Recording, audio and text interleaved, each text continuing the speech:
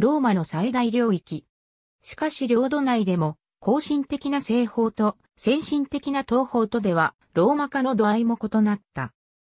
ローマ化とは、地中海世界やガリアブリタニアゲルマニアの一部を征服した古代、ローマ人が領内の蛮族に自文化を浸透させて同化を図ったことを指す。ローマ人の民族文化が実質的にラテン人の文化と同義であることからラテン化とも呼ばれる。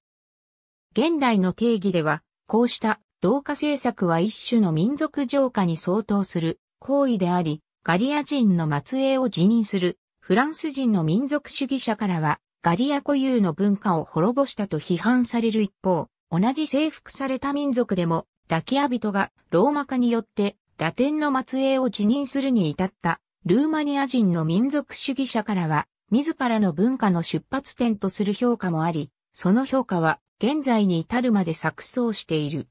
もともとはラテン人の一派であったローマ人はラテン戦争での勝利で全ラテン人を統合し、ローマとラテンは同一化した。中部イタリアを制したローマは戦いを続け、最終的に南部イタリア、北アフリカとイベリア、地中海沿岸部、ガリア、ブリタニア、ゲルマニアの一部に至るまで広大な領域を支配する世界帝国に発展する。だが、他の地域は全く系統の異なるケルト系やイベリア系、ゲルマニア系、そしてヘレニズム系の諸民族が定住していた。ローマは円滑に統治を行うため、彼らを自らと同じローマ人として同化する必要があると考えるようになった。同化は極めて緩やかに、しかし確実に推し進められていった。ローマ化はまず異なる系統の住民が住む地域に、ローマ軍が攻め込むところから始まる。敵の軍勢を完膚なきまでに打ち破った後、ローマはその地の住民に様々な方法で同化を迫り始める。以下、ローマが占領後に行うとされる同化政策を列挙する。しかし同じ民族でもローマに負けぬ高度な文明や長い歴史を持つ東方の旧ヘレニズム系の地域に関しては同化を行わず在来の文化を尊重した。